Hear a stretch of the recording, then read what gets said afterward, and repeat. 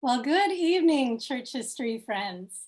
My name is Barb Walden, and it is a joy to welcome you to the first night of our summer series. Uh, this July, we will explore a number of Community of Christ historic sites virtually, and we are thrilled that you're joining us for this virtual journey down the Restoration Trail.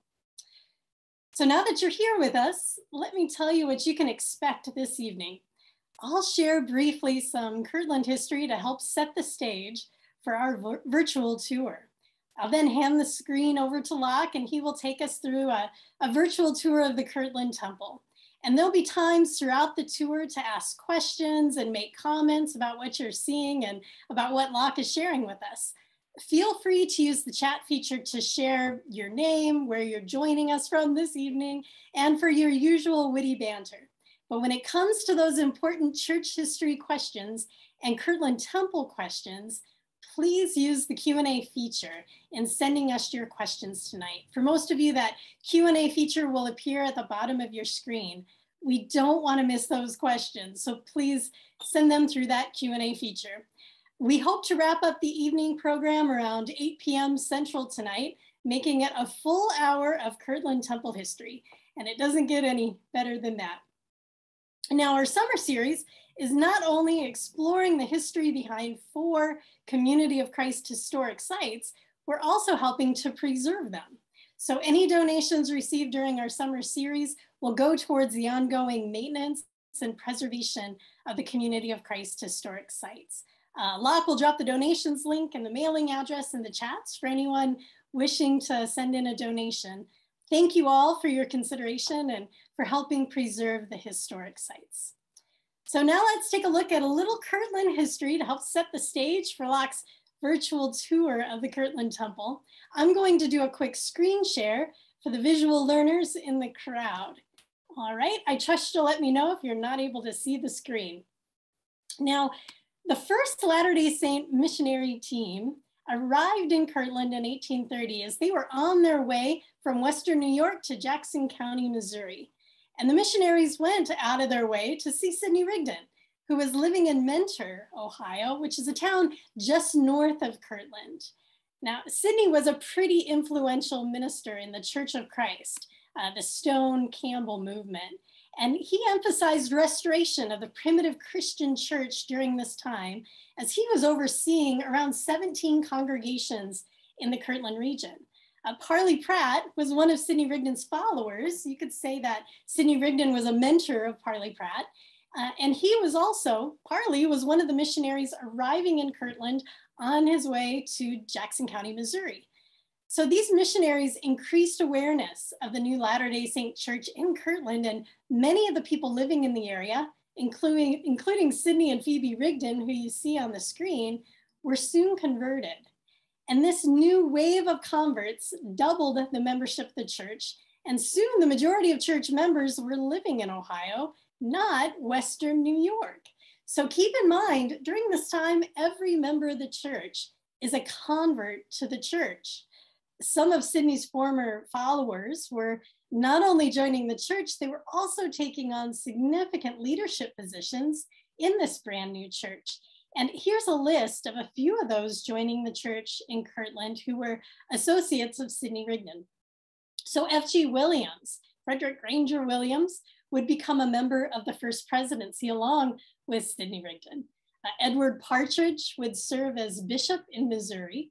Newel K. Whitney would later serve as bishop in Kirtland. Lyman Wight and Orson Hyde would become apostles in this new church. And these folks and others gave um, an instant credibility to the church. And they, they created a church base in Northeast Ohio. And this was a significant reason that the church headquarters shifted from New York to Kirtland in 1831. There was a lot of things happening in Kirtland in the 1830s, and, and I'm going to try to, to give you a little bit of that in this brief overview. So when Sidney Rigdon joins the church, he also brought an emphasis on living out the book of Acts, chapter 2, and restoring a community. And that'd be a community based on this concept of living all things in common. More specifically, Sidney becomes an influential spokesman uh, for building shared community in Kirtland.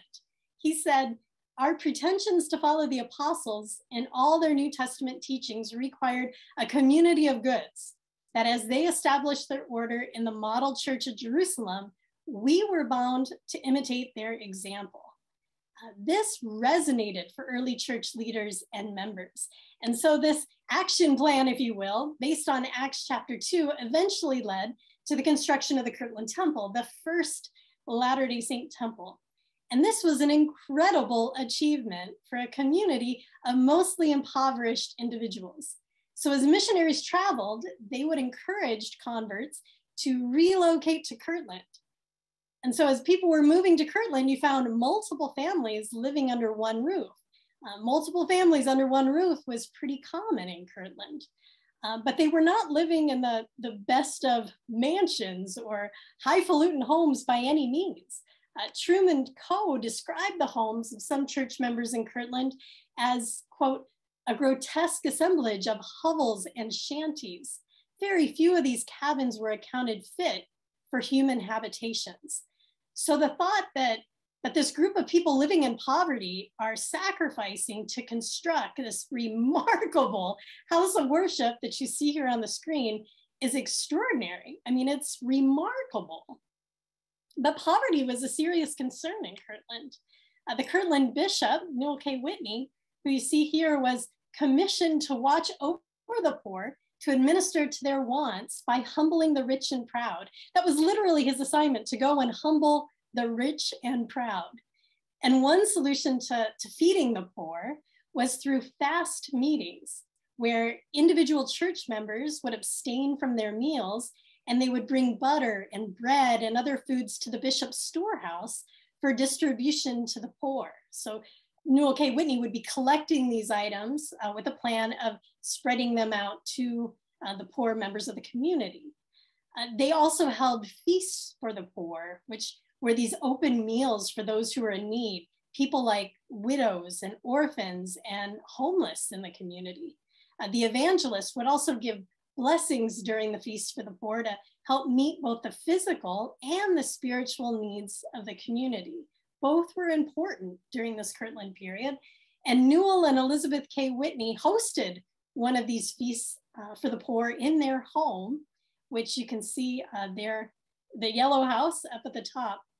Their feast for the poor was so large that the guests were served in shifts over a three day period, which I think says a lot about how, how many poor people that were living in Kirtland, but also the magnitude of the generosity of Newel and Elizabeth Whitney. Now, education was another serious concern during this time. And a two-story schoolhouse and print shop was built directly behind the temple with hopes of meeting the church needs for both a school, a gathering place, and a printing press. And, and this two-story building was built before the Kirtland Temple um, was was constructed. So that that tree area that you see here uh, behind the temple is where that two-story building was once located. Unfortunately, it isn't there any longer, but you can see the location of it. And the first floor of that building was used as a gathering place where the congregation would gather before the temple was built. This was where church mem members, church ministers, excuse me, were schooled and where the lectures of faith were given. It's also where the first apostles, the, meaning the Council of 12, were ordained in 1835. While up on the second floor of that building, Oliver Cowdery and F.G. Williams had a hopping printing press that was turning out a number of first edition books. Um, the first Doctrine and Covenants in 1835 was printed.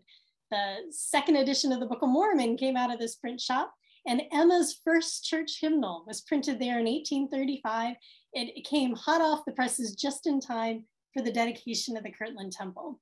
A number of newspapers like the Messenger and Advocate, Northern Times, and, and others were printed at this print shop as well.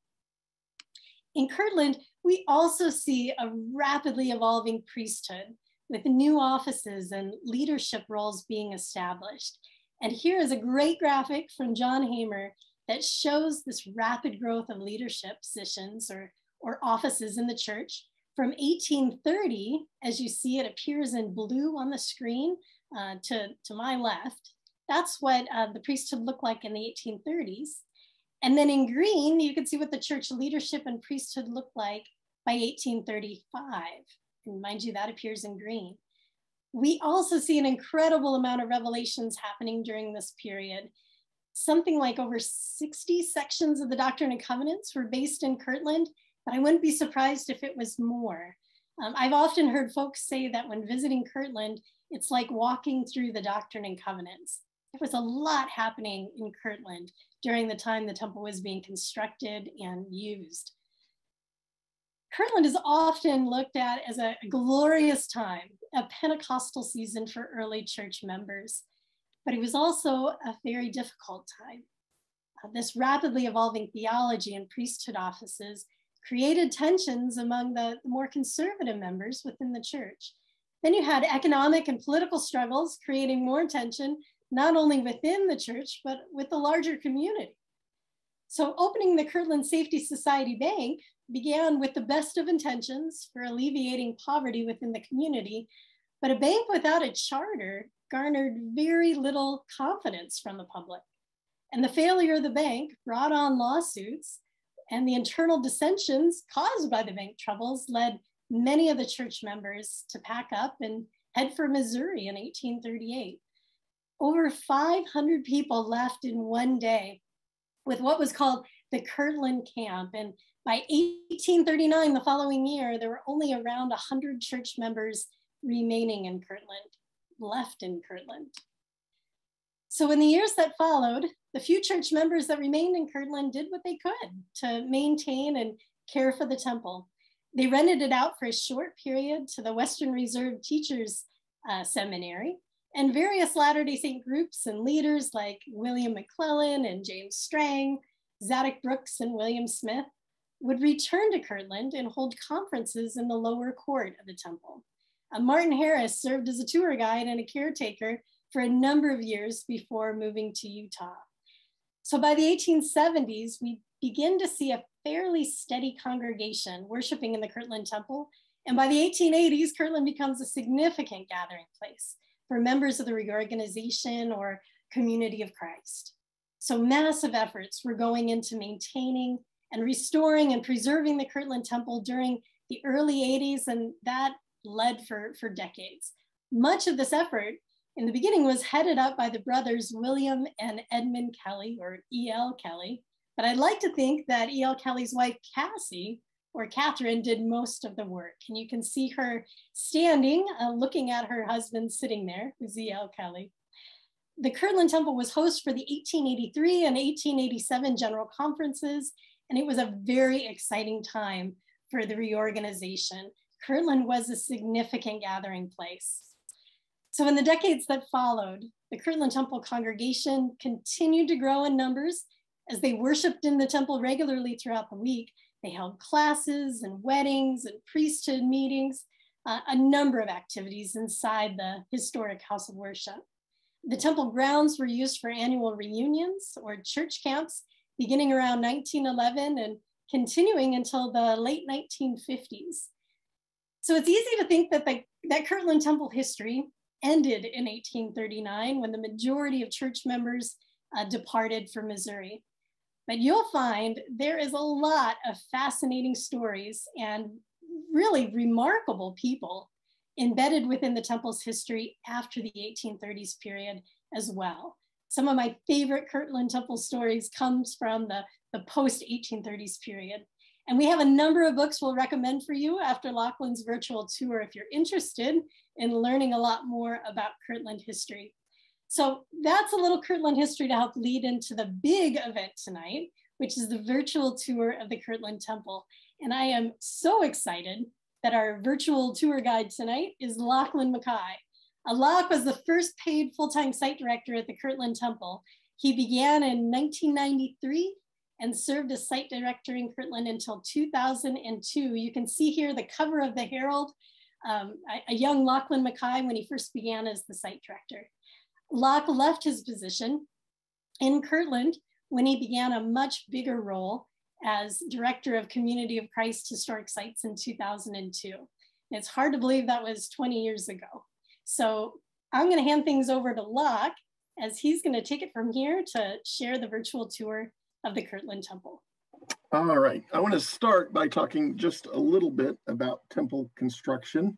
I'll use this beautiful photo by Jim Doty to illustrate. So the temple was built, of course, between 1833 and 1836. They had hoped to build of bricks, but many of the bricks apparently crumble as they fire them. They're in a bit of trouble.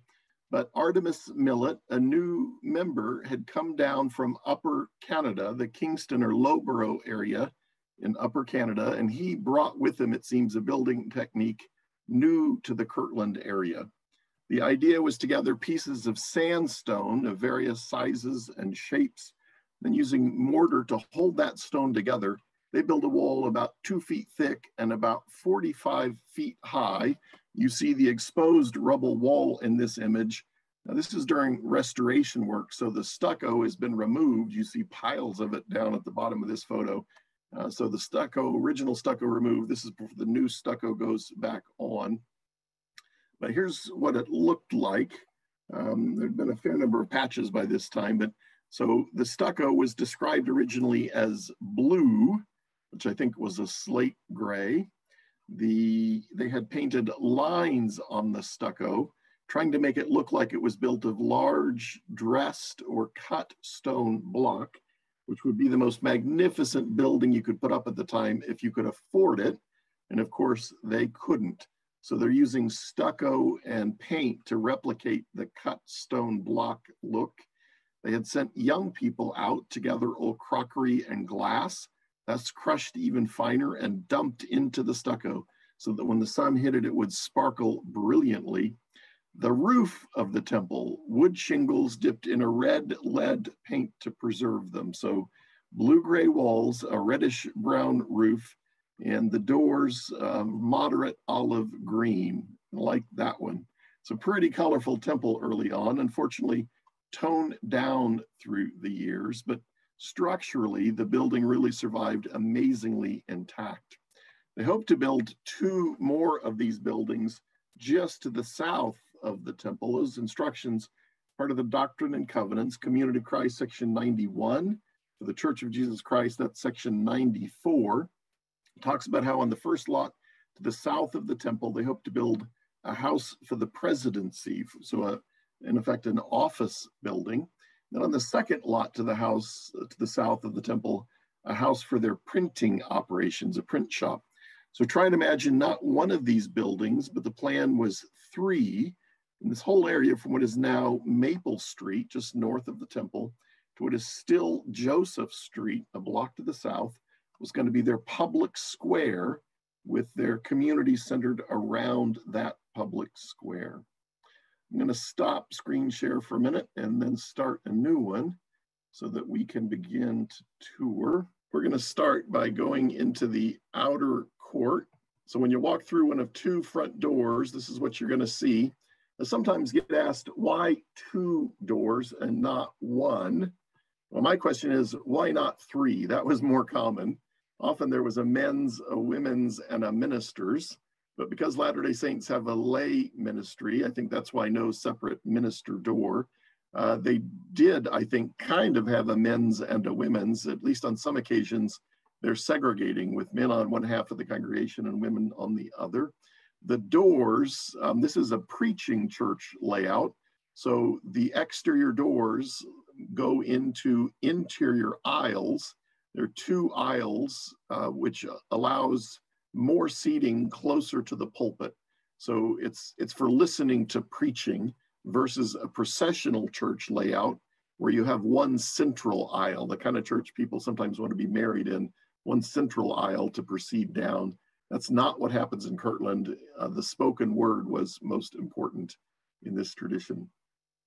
As we go through the temple, you're going to see some beautiful decorative woodwork Depending on the age of the craftsman, though, they had very different styles. Early on, a man by the name of Jacob Bump was in charge. He had apprenticed using the 1806 edition of Asher Benjamin's architectural pattern books.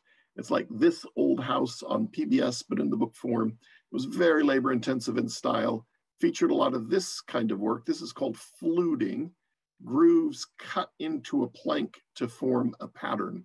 We're going to see more of that labor intensive style in the lower court or first floor of the temple. Uh, Bump got mad and left the community for a time.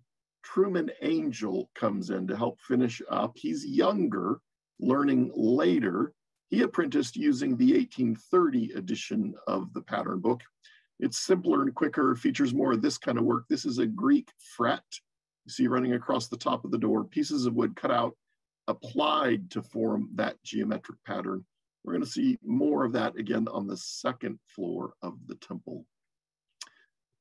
Uh, I want to pause um, if anybody wants to drop questions into the Q&A, um, either about construction or about the outer court.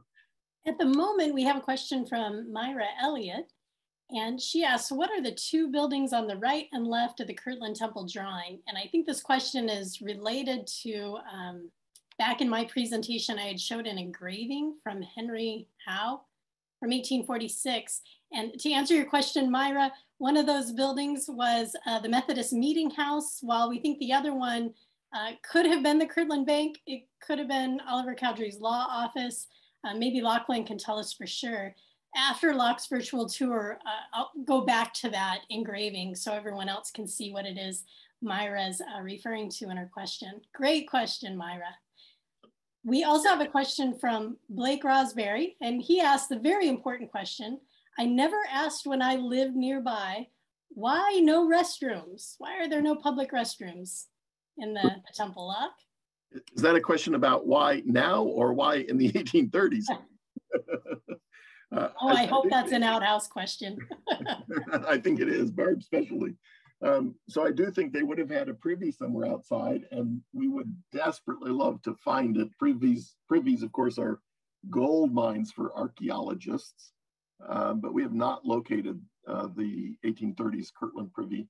But a decision was made very early, in fact, probably 1880s, to try and preserve the temple just as it was, um, which means the decision was made very early not to modernize it by gutting spaces to put things like modern bathrooms in. And I'd like to think that we were on the cutting edge of the preservation movement, and that's why we made such a great decision. I really think that's not what is happening. I think that we decided we wanted to make it look just as it did um, to prove that the temple looked just as it originally did, um, and that we were the original church because we owned it. So I, I think it's an identity issue early on. Um, uh, the goal trying to show that because we owned the original temple that looked just as it originally did, that proved that we were the original church, not anybody else. So I'm suspect of our motives, but I'm still thrilled with the decision not to gut spaces to modernize and put in things like elevators or pipe organs or bathrooms. We have a question from Michael Wellington, and he asks what kind of wood is most of the temple made of? Much of the temple is walnut and poplar and oak. There might also be some beech. I think that the the kiln, the lumber kiln that church members had, caught fire multiple times in one winter, and they lost much of the lumber each time. So they ended up having to buy from local non-members, and I think they're using whatever they can get. Ryan Quick asks, is there any reason that the colors have been toned down in renovations over time? The exterior is very white, not bluish. Yeah, I'm disappointed that the uh, the color has been toned down. And in fact, I made what I thought was a compelling argument that we needed to go back to blue-gray walls and a reddish-brown roof. We did get the green front doors back. Uh, my argument was we would never dream today of changing their written documents to say what we think they should have said. Uh, and since they're dead, they've lost their voice. Why do we think it's okay to, to change the artifacts they left behind to reflect what we think is pretty? Um, I thought it was a compelling argument, but I, apparently it wasn't because it's still white. um, initially, the sun would have just faded the stucco. So it, it, wasn't intentional early on. It just faded to kind of a slate gray. Um, and at some point, the sandstone around the windows and the doors because it has a lot of iron in it, it rusts and starts developing rust streaks that run down the side of the building that are pretty unattractive. So I think a decision was made early um, that we ought to do something to make it look better. And instead of going with like a, a blue-gray paint, I'm guessing that by the 1950s, there was this idea that um, the house of the Lord should be white, signifying purity, um, which I think would make a different decision today. But that, that's, I think, was probably motivating them when they went with that pristine white for the first time in the 1950s. Will Perez asks, how did the community of Christ end up owning the temple? How was ownership passed down when the saints left Kirtland? This is a great question, and I think Lach has got an hour-long class exploring uh, ownership of the Kirtland Temple. But Lach, are you able to give an abbreviated answer to this great question? I will, and then I'll talk to Will tomorrow with an hour-long answer. Um, he happens to be in Nauvoo. So uh, the short answer is adverse possession. Um, the ownership of the land that the temple sat on in the 1830s and 40s was very complex. There are people at times selling the building before there's any record that they own it. At times, Joseph owns it personally. At times, he owns it in behalf of the church. But prior to his death, it was back with Joseph in behalf of the church. He's killed. Um, there are multiple maneuvers by the various Latter day Saint tradition churches to try and strengthen their claim. There are sales of the temple, some not particularly real, more, more straw sales. Um, at times it's selling for $10,000 and then being sold for just a few dollars by that same person a few years later. Um, eventually, though, uh, community priced members, Russell Huntley and Joseph Smith III, get possession. Um, it's a, a sale in, in that is authorized by the state legislature in Ohio. A guy named Russell Huntley had revived, uh, I'm sorry, um, Grandison Newell had revived some litigation and managed to get the Ohio state legislature to pass legislation specifically so that Joseph Smith's properties could be sold to settle some of the, the suits coming out of the Kirtland Bank failure. Um, so the temple is sold on the courthouse steps uh, the guy that buys it gets um, apparently 13 acres free and clear that sells just the temple then for $150 to Russell Huntley. Huntley later affiliates with the reorganization, sells it to Joseph Smith III and Mark Forscutt for $150. Um, they hoped to sell it to the city of Kirtland for a town hall, but realized that their claim might be problematic. So they decided instead to, to put together a lawsuit um, now, the real motivation wasn't to get clear ownership. It was, again, about identity. Um, but the Kirtland Temple suit, which was kind of a shock for us because we didn't have local counsel. So the judge took our, uh, our brief, which said the reorganized church is the true and lawful successor to and entitled to the property thereof, Joseph Smith Jr.'s church. I think that's our language. He just read it back, which was great for us. But then he said, oh, but you filed the case wrong, case dismissed. So the, the Kirtland Temple suit, which um, would be familiar to member, members of the Community of Christ, doesn't really have any legal standing. Um, but at that point, Joseph III just gave the temple to his church, turned possession back over, and it really passes through adverse possession, which in Ohio means that you own it, you proclaim your ownership, you care for it, you maintain it 21 years, and cloudy ownership becomes clear. And that's really the mechanism that any of any of the Latter-day Saint churches were going to have to use because ownership was so mixed up in the 1830s and 40s. So believe it or not, that's a short answer. Uh, Blake Rosberry yes. I believe Kim Loving did much research on this topic. Do we have his work? Kim did an amazing job on this topic and his work is available online. It's in a Mormon History Association journal. I would Google um, Mormon History Association Journal, Kim Loving, Kirtland Temple, and it'll pop up. Um, and I think that there are maybe University of Utah, I think you can get MHA journals digitally for free.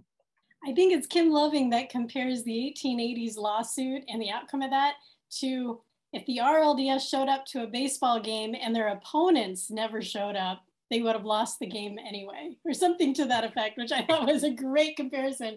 Arriving to a baseball game, your opponents aren't there, and you still lose the game. Yeah, it's it's not one of our prouder moments. All right, let's climb the stairs and have a look at the second floor. So 33 steps you have to go up to get to the second level. And here's what you see when you do. This is the upper court. It was going to be the home of something called the School of Mine Apostles. As the name implies, it was intended to be classroom space for missionary and priesthood training. This is an inner court, they called it, or the upper part of the inner court. And we would have climbed stairs in the outer court to get here. So Old Testament tab tabernacle and temple language. They also started to install in this room, but weren't able to finish what they called veils or partitions. At this point in time, they're simply room dividers. They become something different in Nauvoo, Illinois in the 1840s, but here, simply room dividers. So the plan is to wrap canvas around these large wooden rollers on the ceiling. You would attach ropes to them, thread them through little donut, they look like powdered donut holes on the ceiling. They would go into the ceiling, into the crawl space, down into the columns. I'll see if I can show you one. And they were gonna have windlasses um, here. You see a metal rod sticking out the side. So you'd put a, a, a crank on this rod and start turning, and that would raise and lower these massive canvas curtains. So there are openings between the pew boxes. You're gonna drop curtains here and here. So one big classroom becomes four small ones. And then they're also gonna divide off around in between each level of the pulpits to give the privacy for people to study or pray. The tiers of pulpits are probably the most distinctive feature of the temple. They're for the two priesthoods. On the west, Melchizedek priesthood pulpits. Uh, what we're looking at now on the east, Aaronic priesthood pulpits. The letters represent different leadership quorum presidencies. So PDA on the bottom, repeated three times, for the deacons quorum presidency. Above that, a PTA for the teachers quorum presidency. Above that, a PAP for the priests. On top, a BPA for the bishops who preside over the Aaronic priesthood. On the west, on the bottom, we're going to see a PEM for the elders quorum presidency, an MHP for the high priests, and that starts to get a little confusing. A PMH for the High Council. Uh, this is confusing, but remember at this point in time, the, the quorum of the 12, the apostles, had no authority in a stake. They were not supposed to be home. They were supposed to be out on missions. So anywhere the church was organized, the high council had authority, and the rest of the world, the apostles were in charge. Uh, but because they're not supposed to be home, no seats for them. And then on top, an MPC for the first presidency of the church, the three people presiding over the entire church. To confuse us, they typically ignored these letters though, and would sit not by office, but rather by age, older members on top to younger ones down bottom. By Nauvoo in the 1840s, they templed a bit, the temple they built here. There are lots of cues on the pulpit, certainly for quorum, but a little more confusing by the time the folks who go west build their St. George, Utah temple. The letters are a little different again. But what was most important is that they were a teaching tool. Everybody's a new member here. Every time they walk in, these letters help teach them the administrative structure of their new church. The benches are not attached. They slip back and forth. These desktops are later additions, but they flip up and lock into place so you can face either end of the room, depending on who's presiding at the time. On the columns, you see large Greek frets, pieces of wood cut out, applied to form that pattern. Simple, quick. Remember, downstairs, we're going to see something very different. Questions on the upper court or anything else? We do have a question from Lou Shepardson, and Lou asks, why the pew boxes as opposed to more rows of pews? Was that related to keeping warm in the winter? Yeah, the pew boxes come right out of their New England heritage. So um, in many ways, Kirtland Temple is a New England meeting house, and the pew boxes reflect that. Apparently, um, so that's just what they knew growing up, that it would help keep heat in and the draft's off, and you could bring foot warmers or soapstones with you, heating devices. They would sit on the floor and radiate heat. Um, so that uh, very much typical New England meeting house. Things that make the temple different from a typical New England meeting house. We talked about one of them already, tiers of pulpits on both ends. That is not typical. Another is the fact that the temple has windows on every wall. Even on the third floor with lots of little offices, you're going to see windows on every wall, including all the interiors. So you can get light on the west side of the building uh, from the rising sun in the east. A third distinctive feature, normally the second floor of the house of worship in New England at this time would be a gallery or balcony so you could sit either in, in the balcony or if it was a gallery along the sides, but this would be open and you'd be looking down into the first floor. Um, so this is very different to have two large, almost identical rooms stacked, one on top of the other, not at all common. This happens though, because I think the temple grows out of two desperate needs these people had. They understood that they had uh, been commanded to have a school for their ministers. So they, they needed a place to, to teach their leaders and their, their priesthood. Uh, that's this floor, the upper court. They also were didn't have enough money to pay rent on the meeting house they were worshiping in. They needed a place to gather together to worship. That's the room below. So those two distinct needs result in the two large, almost identical rooms stacked one on top of the other. Ronald Baldwin asks, were the canvas room dividers ever actually installed and used? Were the canvas room dividers ever installed and used? I think on the second floor, I think they're not finished. So never installed. No, we, we discussed this sometimes um, passionately among uh, some of the Kirtland Temple folk, but uh, I am not at all convinced, in part because there's original rollers in a few of these columns. Uh, let me see if I can get a better shot for you.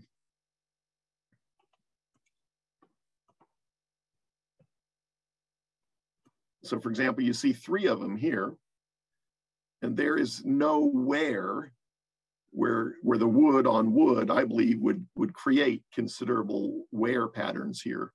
Um, I, I, don't see any evidence that these were actually ever used on the second floor. Downstairs, they're in and functioning and used regularly in the 1830s. I think they worked downstairs, but they decided they could make them work better, redesign the system, start to install it on the second floor, and are never able to finish it here. Yeah, two more questions, and I, I, think you've answered these questions, but I want to give you an opportunity to, to say a little bit more if you want to. Uh, Myra Elliott asks, have the curtain mechanism been restored? And Sherry Rushton asks, what are the cutouts on the tall columns? So have the curtains been restored? So downstairs, yes. I think we put asbestos curtains back in in the late 19th century. Uh, they did not survive and they're long gone. So there are no veils or partitions or curtains in the temple today, but there are mechanisms that they would have been operated by.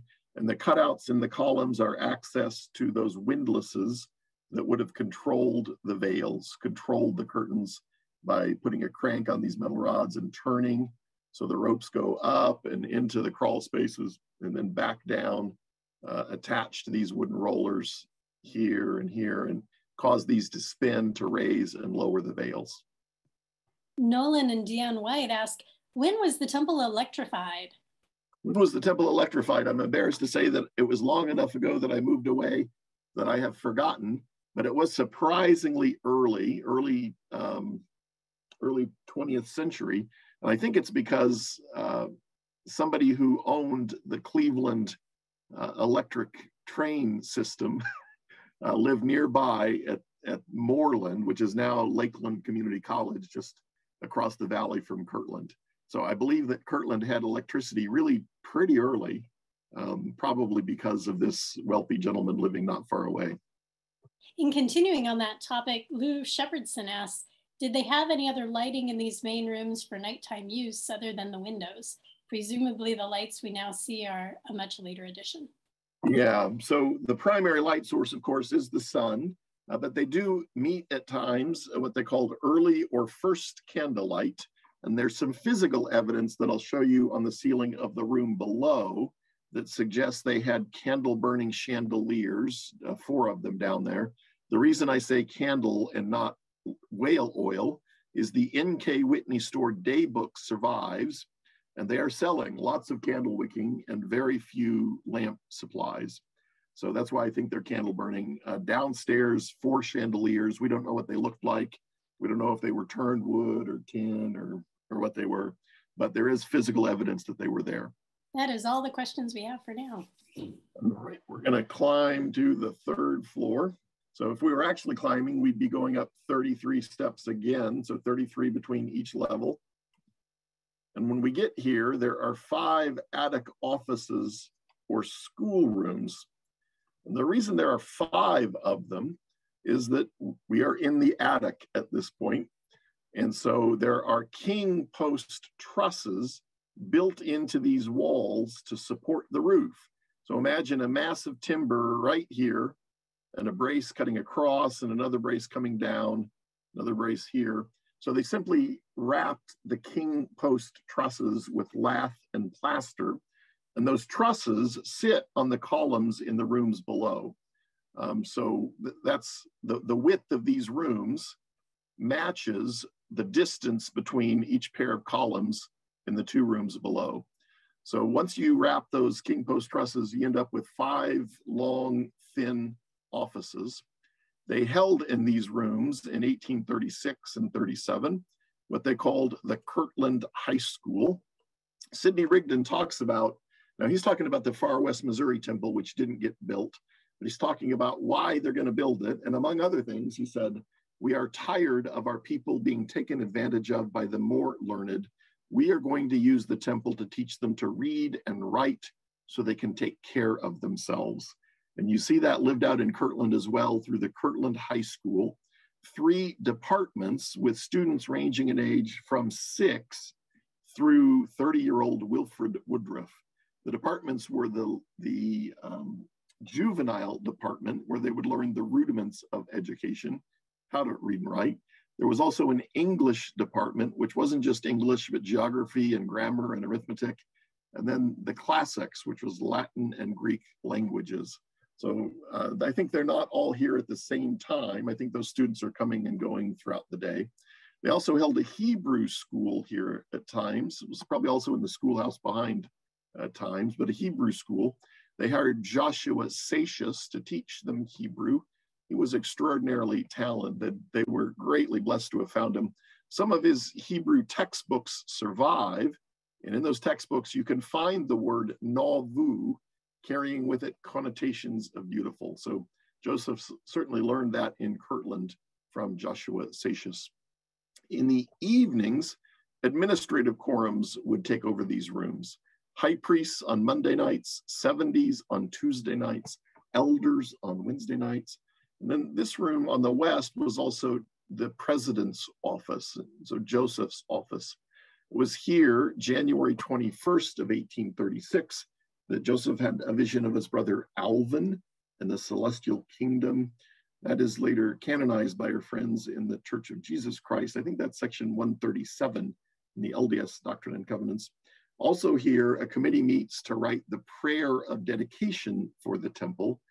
Um, and then that's read in the lower court, read from a printed document, which uh, was uh, upsetting to some folks who thought the spirit shouldn't be constrained by saying a written prayer. Uh, but it was on that occasion a written prayer, uh, written here, delivered on the first floor or the lower court. That's also one that was canonized, um, not in Community Christ, but in the Church of Jesus Christ in 19, I'm sorry, 1876. That's their section 109 of the LDS Doctrine and Covenants. Questions on the third floor or anything else? Pam Robeson asks, is there any special significance to the 33 steps between the different levels? Uh, we have wonderful stories that we've made up through the years about special significance. Um, you know, some people think it's one year for uh, each year of Christ's life. Some people think it's um, related to masonry. I, I, don't think there's symbolism there. And we also have come up with wonderful symbolism in the decorative woodwork in the temple. Um, really elaborate uh, symbolism we would come to find meaning uh, in the woodwork. But what we didn't realize in many cases is yes, there are ancient symbols in the temple woodwork. Um, what's happening though is that that Asher Benjamin, that that pattern book developer I talked about earlier, he is basically stealing um, engraved plates from English pattern books of the day. And the English are fascinated by ancient cultures, Greek and Roman cultures uh, and others. So yes, there are ancient symbols in the woodwork of the temple, but they're transmitted through these pattern books. And that was an element that we didn't really understand until recent years when Elwin Robison, an architectural historian down at Kent State, uh, was tremendously helpful in helping us understand the context in which the temple was built. That is all the questions we have for this time.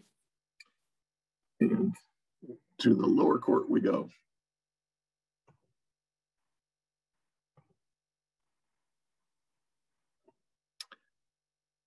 So back down on the ground floor, they would gather in this room on Sunday mornings for hymns and prayers and sermons and testimonies. Uh, they would serve sacrament or communion. You see brown tables, these are in front and in back, and they flip up and lock into place. They would take a break, uh, they would go home they would come back for more hymns and prayers and sermons and testimonies. Um, they would go home for dinner.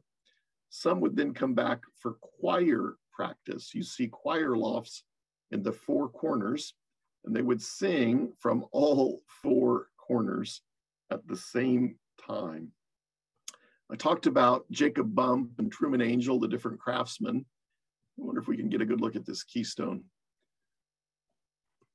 Uh, I got too close.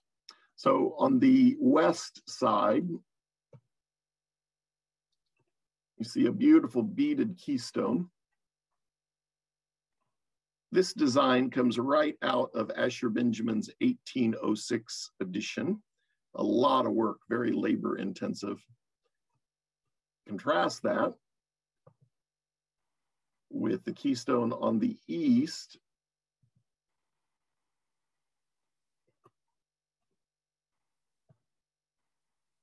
I'm not sure if we'll get there or not.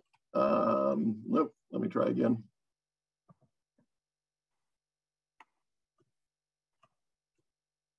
So this one is flat with little holes drilled in it to form a pattern.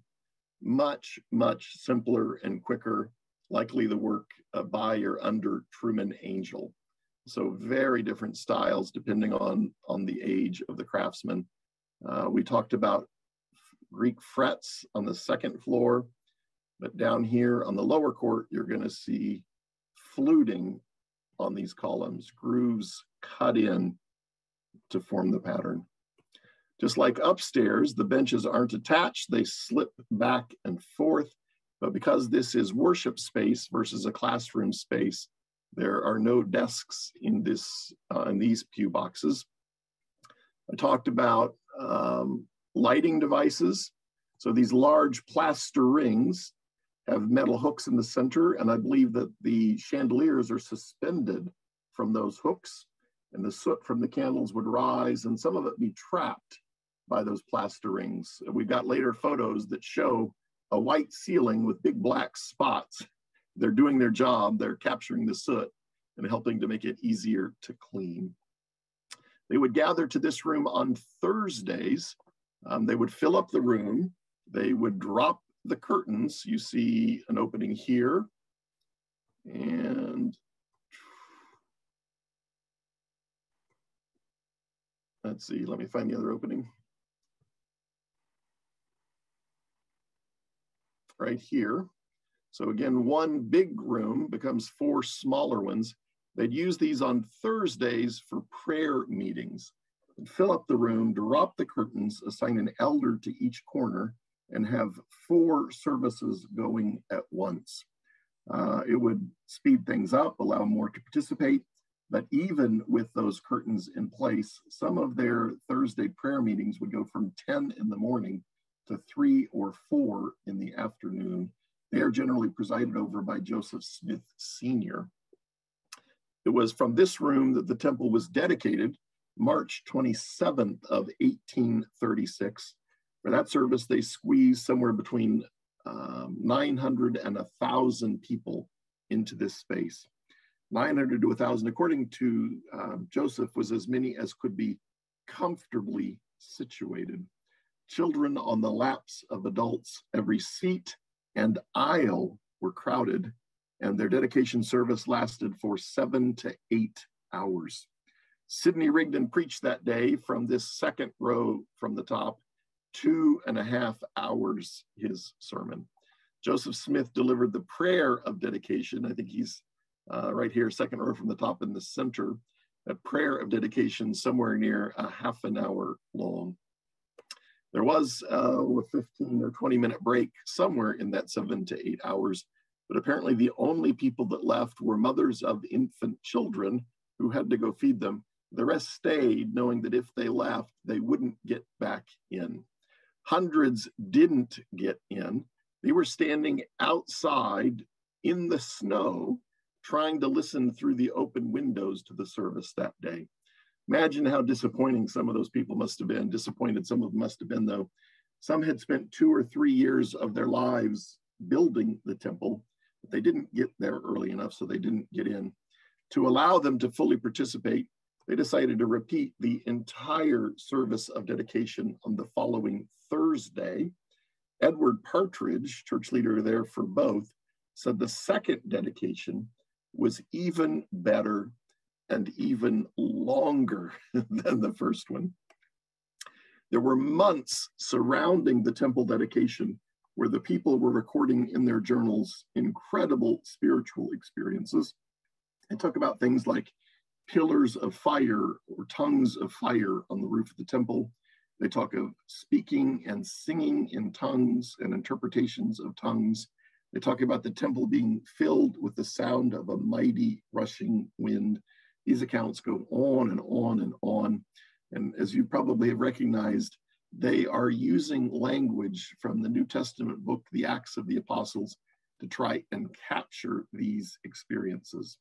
They didn't say, we are living again these New Testament times, but they didn't have to because people recognized they were biblically literate enough to recognize that language and know that they were living again. Not just, as David Howlett has pointed out, these people were not just symbolically remembering New Testament, the New Testament church, they were living it again, or doing their best to anyway.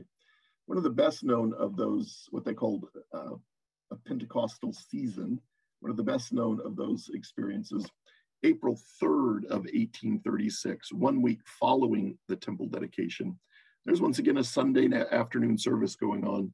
Once again, about a thousand people present. The curtains are dropped. The room is four. They're blessing babies and confirming new members in these four areas.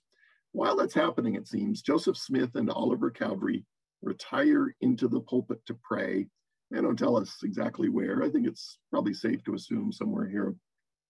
They drop the curtains or veils around them they kneel in prayer. As they finish, they record a vision of the Lord on the breastwork of the pulpit before them, coming to accept of the dedication of the house. And of course, April 3rd of 1836 is Easter. So Joseph and Oliver having a vision of the risen Lord on Easter Sunday. Uh, the scribe also records accounts of um, Moses, Elias, and Elijah appearing in vision to Joseph and Oliver on that day. We have covered lots and lots of information in a hurry. So questions about things we have talked about or things we haven't? We have lots of questions. And the first one comes from Jean Shirts. And Jean asks, is there an all-seeing eye in the Kirtland Temple? There is not an all-seeing eye on the Kirtland Temple. Um, And uh, there's also now, and nowhere that says holiness to the Lord, although I wonder if there might have been something here in the 1830s. Uh, and later, actually probably also in the 1830s, they're painting slogans on the walls. We're, we're not positive they're there in the 1830s, but they're definitely there not too long after. Um, slogans, some of which um, would be kind of interesting today. Things like no cross, no crown, um, and some things in Latin and uh, stuff like that painted on the walls. Uh, outside on the front, the entablature, uh, the sign on the front, originally said House of the Lord, built by the Church of the Latter day Saints, AD 1834. As most of you probably know, remember that the name of the church is the Church of the Latter day Saints at this point in time. So Joseph establishes the Church of Christ, 1830. 1834, they become the Church of the Latter day Saints. 1838, the Church of Jesus Christ, Latter day Saints. Martin Harris stays in Kirtland for decades, continues to worship in the temple. He apparently thought that the name of the church should never have been changed from the Church of Christ to the Church of the Latter day Saints. So he sends somebody up in 1860 to paint out built by the Church of the Latter day Saints and paint in built by the Church of Christ.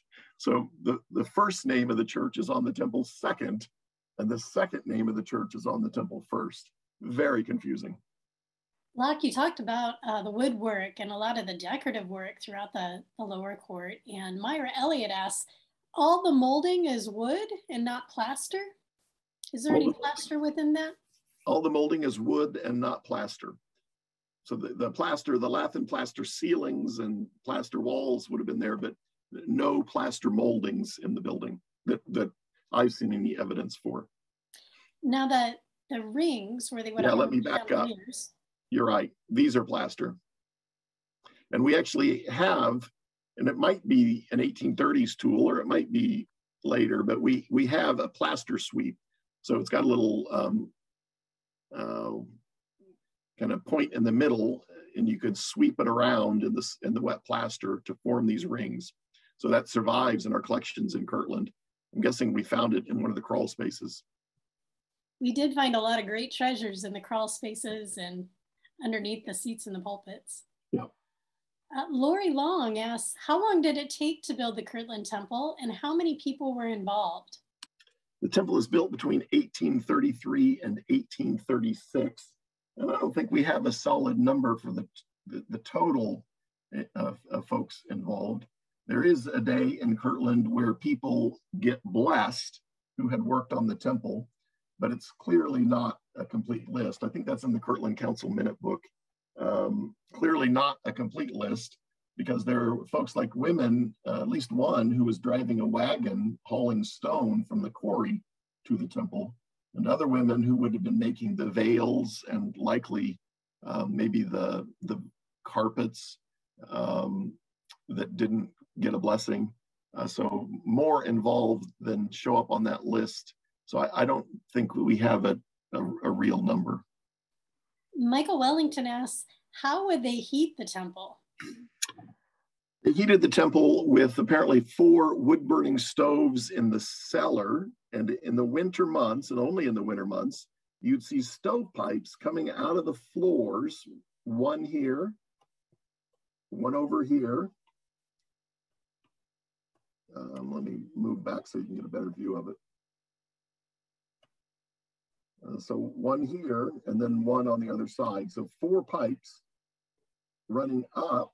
And, and by doing that, you're getting um, heat radiating from the pipes all the way up. And then I think they come together and out. I don't know if it's one or two central chimneys. Um, we, we know that those pipes were there uh, because in, I think it's 1837, when there's dissent in the church, uh, I think it's Joseph Smith Sr. is preaching, and the dissenters storm the temple uh, and as they rush in, they knock over a stovepipe. you can just imagine soot flying everywhere. Um, they eject the belligerents and continue the services of the day. Talk about a fire hazard. Our next question comes from Millie Gentz, and Millie asks, is there no padding on the benches on the second level? This is a question after my own heart. Let's talk about those benches, Lach. Yeah, there is no padding on the benches on the second level. Now, um, I, I, don't know that those benches are original. I, I was stunned at, at what appears to be the age of these benches on the lower court. They may or may not be original, but they are built of square nails. And when you look carefully at the wood, you see reciprocal cut saw marks, meaning the blade moving straight up and down versus circular cut. Um, those are both things that you want to see in 1830s work. So they might, I, I, think it would be stunning if they had survived, but they are very old. Um, and there is a reference, um, I can't remember the date on it, but uh, a reference to people who believed that some of the original padding on the benches had survived. They said it was a little red flower pattern and that they tried to preserve it by not letting anybody sit on the padding and then finally they broke down and let women and children sit on it and they wore it to shreds and it's gone. Um, so they might have had padding on the benches downstairs originally. While we're here, take a look at the width of the planks of lumber that the pew boxes are made out of. And upstairs, there's some that are even wider in the pulpits. So that's another thing that you want to see when you're trying to figure out what's original and what's not. So these are wonderfully wide planks telling you that they're probably old growth trees. Uh, the second floor, the pew boxes there are built, most of them of planks six inches wide, very narrow, very uniform. These not uniform, quite wide. And when the sun hits these right, you can see it kind of a rippling on the surface from the hand planing. Each stroke of the plane would leave just a slight ripple. So so it, it seems very likely that these are the original pew boxes on the first floor. It's incredible how much the temple has stayed intact over the, the decades. It really is. Sherry Rushton um, is asking about the choir lofts, and she says, What were the cupboards under the choir used for? What were the cupboards under the choir lofts used for? It's a trick. So uh, I wonder if I can get in one of them. Yep, there we go. So you actually, it's a door that opens up and tiny little steps that you climb up to get into each of the elevated choir boxes. So each one higher than the one before. So they look like cupboards, but they're really elevated pew boxes. And the same is true over here on the sides. You climb up tiny little steps and can go in and and these are extraordinarily uncomfortable. That's um, uh, a right angle between the, the bench and the, the back of the box. Very uncomfortable. During the dedication of the temple, remember I mentioned that there are no seats for the apostles at this point in time because they're not supposed to be there. But they were there, of course, during the temple dedication, and they were treated as visiting dignitaries. So on one side, on the west or Melchizedek uh, pulpits, was the High Council of Kirtland, and on the other side, the Quorum of the Twelve Apostles.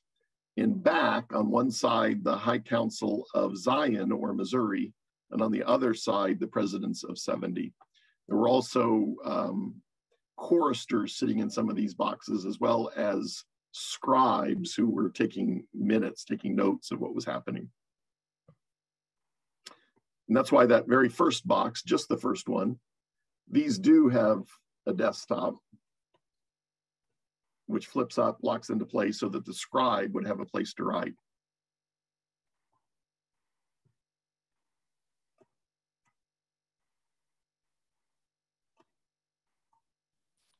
It's hard to imagine sitting in those pew boxes or the choir loft for seven to eight hours at a time.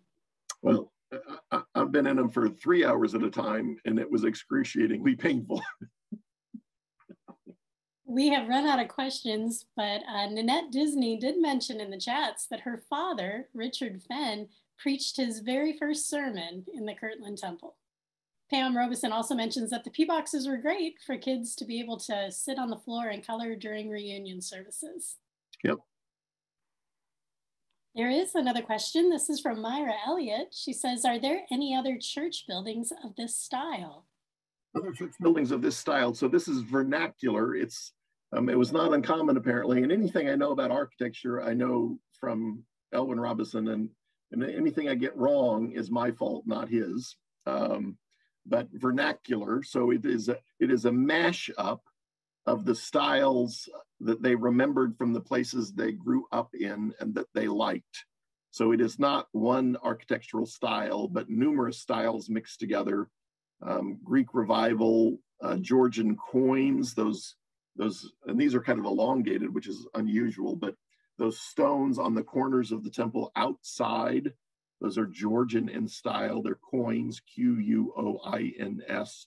I think there's some Federalist features. Um, so all kinds of styles mixed together. In this part of Ohio at this time, there was kind of a Gothic revival um, taking place.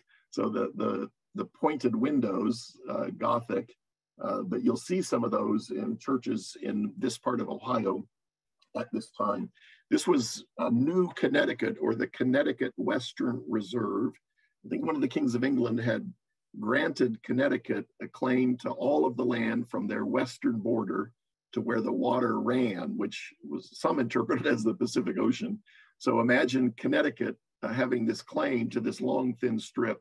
After the Revolutionary War, they're convinced to give up that claim if in return they're given what would become the northeast corner of Ohio.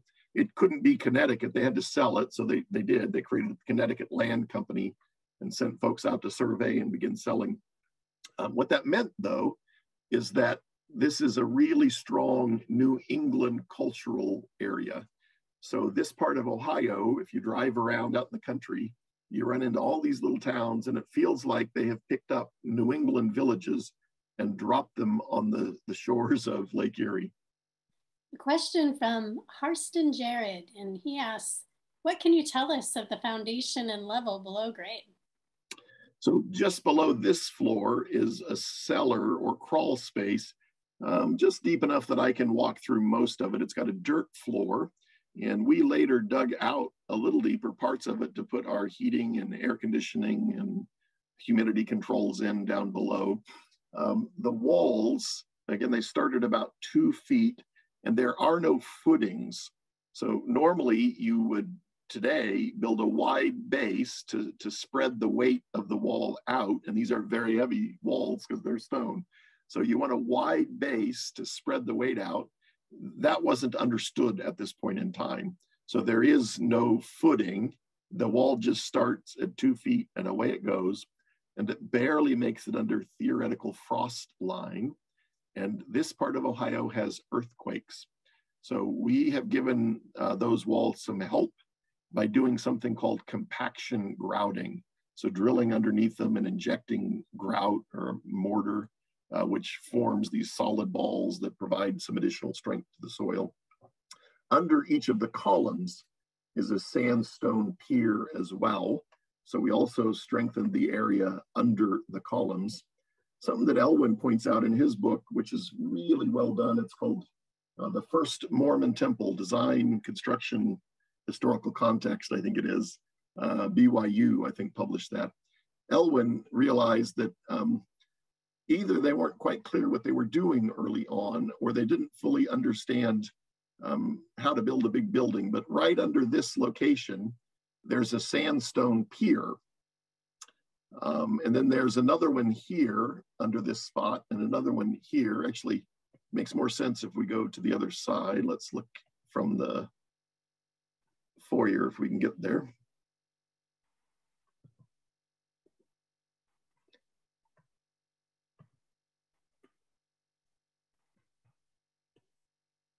Okay. So under this spot, a sandstone pier, but nothing rests on it, nothing touches it. There's another sandstone pier here, and then this is a timber that goes all the way up to support the west side of the bell tower. And here's another timber hiding in this right here, sits on a stand, sandstone pier. That also runs all the way up to support the west side of the bell tower. The east side of the bell tower sits on this sandstone wall, but they're trying to figure out how to support the west side. And it's a huge bell tower and very heavy. But as you've probably figured out, this pier has nothing resting on it. They built it and abandoned it because at some point, either they realized you can't transfer weight through windows and a door, or they decided to put a window and a door on top of that spot. We're not sure which happened, but they're kind of figuring it out as they go. Because that bell tower is so heavy, through the years, these timbers shrink and compress. So uh, one account talks about, well, even today, you can see that the bell tower leans slightly to the west. And one account, which I have a hard time believing, but it says by the 1880s, there was an 11 inch sag in the floor because of the weight of the bell tower. They unhooked everything and slowly jacked it back up. So there's not an 11 inch sag today. Noel Gafka asks or says, I'm so intrigued. What kind of fun treasures were found under the pews and in the crawl spaces? Go for it, Barb. This is your area of expertise. Some of the, the things that I can remember, uh, there were Sunday school class books. Um, David Howlett did a, an article on uh, some of the lessons that were being taught in Sunday school, and those were found uh, underneath the the benches of the pulpits on the second floor. Uh, there was also an old um, offering, what were those called? It, it, was a box that was on the end of a stick that um, the deacons would take down the rows to pick up offerings during the services. There's a formal name for these boxy offering plates, um, but one of those was, was found. There was minutes from a Kirtland congregation business meeting, or maybe it was a Kirtland High Council meeting um, their minutes from the 1920s and it came across as kind of a journal that included minutes from a number of meetings. And when you go through the, the, the minutes, uh, one of the things that really stood out to me was that during that business meeting, there was a heated discussion in the 1920s on whether it was appropriate for church members to play baseball on Sundays. And I'm assuming this is Sunday afternoons. Um, but those are some of the treasures that I can remember. Lach, do you remember any others? Uh, I do not remember others, but I think we're still having that argument, aren't we? Except it's Sunday mornings now. Oh, baseball on Sunday mornings. I think that that those minutes were found in the crawl spaces. Uh, didn't George Lund find them in the crawl spaces? I think he did. There was also still one of the giant wooden rollers from the second floor. If we can get to it.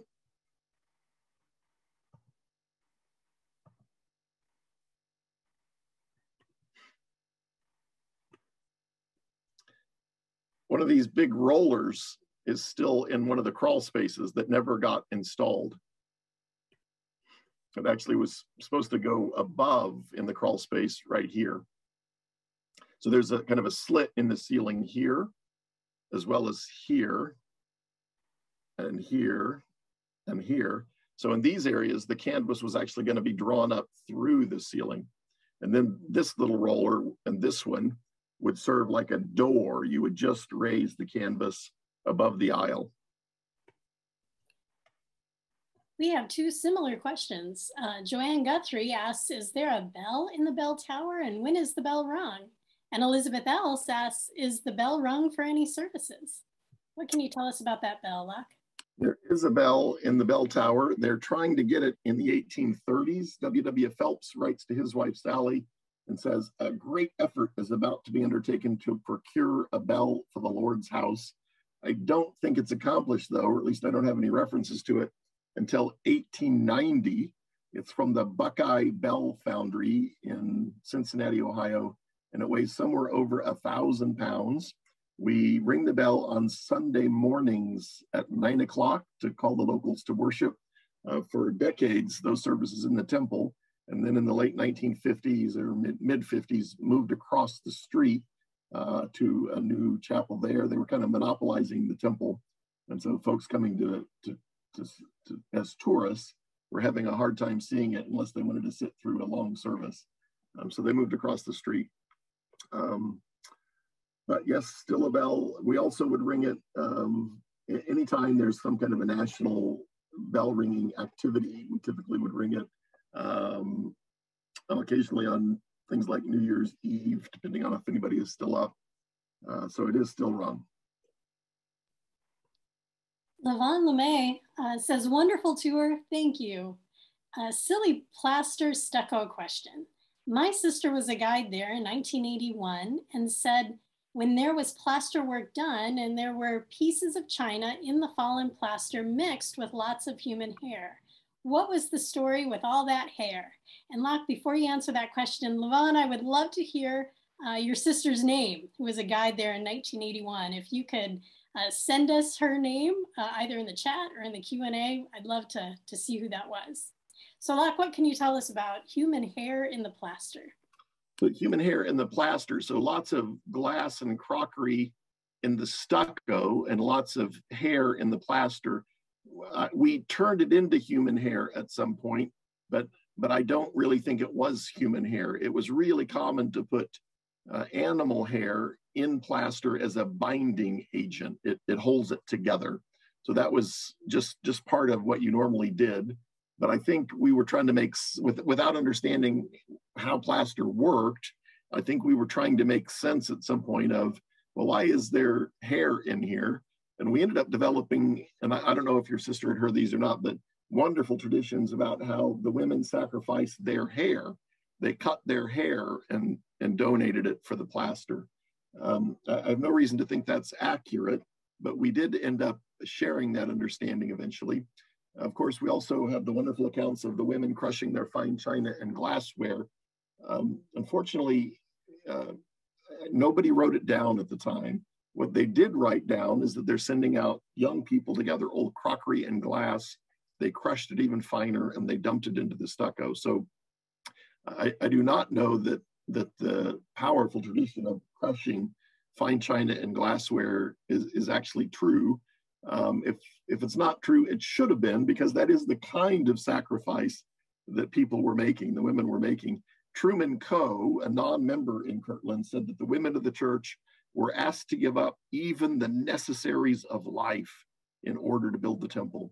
And when you see that phrase in the 1830s, that means adequate food, clothing, and shelter. So I think a, a more significant uh, level of sacrifice than, than China.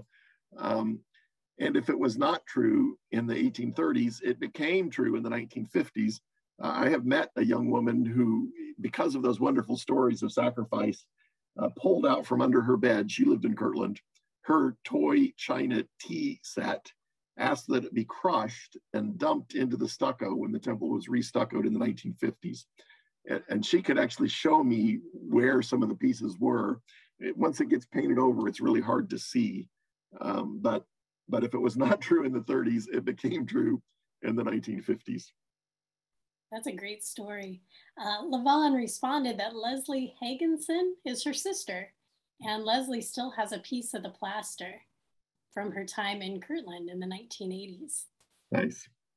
Our last question comes from Jean Schertz. And Jean says, You might mention your book, House of the Lord, the story of the Kirtland Temple. It shows much of what you discussed.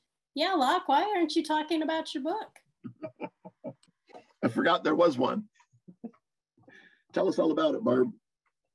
Well, it's true. There is a, a book. It's about 45 pages long. And as Jean mentioned, it's called House of the Lord, the story of the Kirtland Temple and it's published by uh, John Whitmer Books, uh, and available online and at the, the museum stores in Nauvoo and Kirtland. And speaking of, of books, we might take a moment to, to look at some of the books that are available for anyone who is interested in learning more about Kirtland Temple history and architecture or Kirtland history. Um, there are a few books to consider if you're interested in Kirtland Temple history, there's two great books out there. Uh, the first is The Kirtland Temple, the biography of a shared Mormon sacred space by David Howlett. You can see that book is on the right. And Roger Launius also wrote a book called The Kirtland Temple, a historical narrative. Um, that book came out right before the 150th anniversary of the Kirtland Temple. So it's got a little bit of age to it, um, but still a, a pretty good book. You know, if Kirtland Temple architecture is your thing, you're going to want to check out Elwin Robison's book, The First Mormon Temple Design, Construction, and Historic Context of the Kirtland Temple. Lachlan has mentioned this book a couple of times. It's an excellent book. Uh, in addition, a, a, smaller book, but equally as good, is one that Ron Romig published called Behind the Scenes Tour of the Kirtland Temple from Basement to Bell Tower. This is based on the literal behind the scenes tour of the Kirtland Temple. And I encourage you all, if you're ever in Kirtland, to take advantage of that behind the scenes tour. It, it does go from basement to bell tower. And it's perfect if you're interested in architecture. Lastly, if you are interested in learning more about the Kirtland period and all its glorious historical context, I can't recommend enough Mark Staker's book, Hearken, O Ye People, the historical setting of Joseph Smith's Ohio Revelations. This book is around 600 pages long, but well worth the read for church history enthusiasts. Uh, you'll enjoy every page like a nice, rich, dark chocolate. Just, it's rich and full of flavor. Um, you'll really enjoy the book. Now, each night of the summer series will end with a favorite story about the historic site featured that night. And since tonight was all about the Kirtland Temple, Lach, do you have a favorite Kirtland Temple story you wish to, to end with tonight? A, a nice take home gift for those in attendance? Oh, and you're muted. They'll enjoy the story much better if they can hear you. I think I have a, a, different favorite story every time I'm asked, but um, for some reason I've been thinking about the fact that Joseph Smith in 1830s Kirtland counseled the members. He said, if God gives you a manifestation, keep it to yourself. You're not supposed to talk about it. Despite that counsel, people were so overwhelmed by the experiences surrounding the temple dedication that they clearly are talking about it because within 10 days of the dedication, a non-member in Kirtland writes to his sister and says, they say the temple is lit without candles. I just, I don't know why. I love that. I love it. That is a great story. It, reminded me that Myra Elliott's first question had to do with that Henry Howe engraving. And I want to circle back to that for anyone who is just dying to figure out what it was that Myra was talking about. Here you'll notice the engraving that dates back to 1846 we believe this building here was the Methodist Meeting House. And this building over here, we think, is the Kirtland Safety Society Bank. But I've also heard people speculate it could have been Oliver Cowdery's law office. Where do you stand on that, Lach? You think it's well, the bank? I think Henry Howe thought it was the bank. Um, and I think it could be. I think it probably is. Uh, and then the Methodist Meeting House, that's the second Methodist Meeting House. The first one had burned. And with that, uh, we'll bring our evening program to a close. Thank you so much, Lach, for taking us on this virtual tour of the Kirtland Temple. That was awesome. And thank you to our friends in the audience for attending tonight and um, going through the Kirtland Temple with us. We hope you will join us next week when we take a look at and explore the Joseph Smith Historic Site in beautiful Nauvoo, Illinois. So if you haven't already registered, be sure to do so on our website and I will drop the link um, where you'll want to go in order to, to register. So until next Thursday, take care everyone. Keep reading your church history and have a good night.